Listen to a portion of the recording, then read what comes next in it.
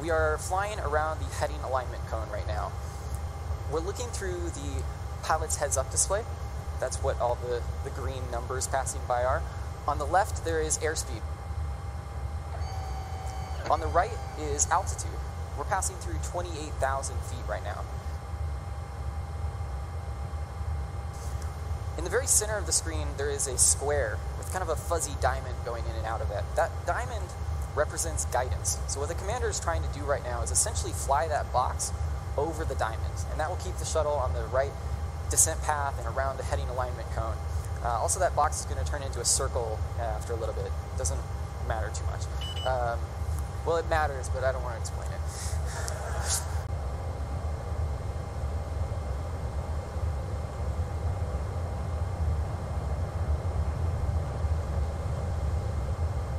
At the bottom, uh, uh, there is a thing, it says CSS, and above that, it says HDG for heading, that's the heading alignment cone. And to the right, there's a horizontal line with a couple of triangles pointed at it. The top triangle represents the, the speed brake where it currently is right now. And the bottom triangle represents where the computer wants it to be, which is the same right now. You'll see that making adjustments as we go, and it'll make a big adjustment at 3,000 feet shortly before landing.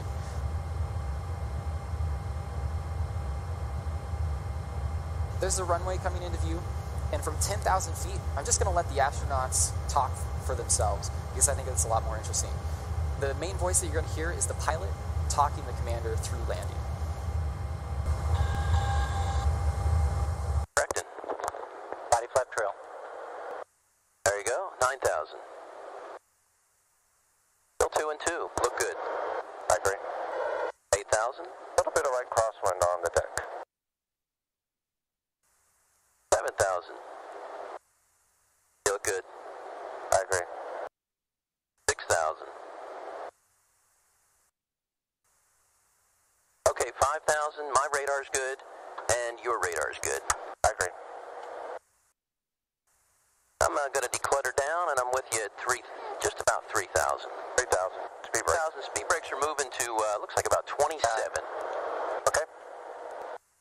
10,000 pre-flare, the gear is armed. Copy, pre-flare. I see you in the pre-flare. I see you lagging a little bit. Looks good. 1,000.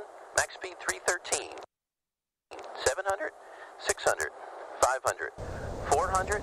Gear down. Here comes the gear. Gear's moving. I show you coming down on the ball bar. Going just a little bit high. I agree. A little bit high. There's 100 feet, 255. Plenty of energy.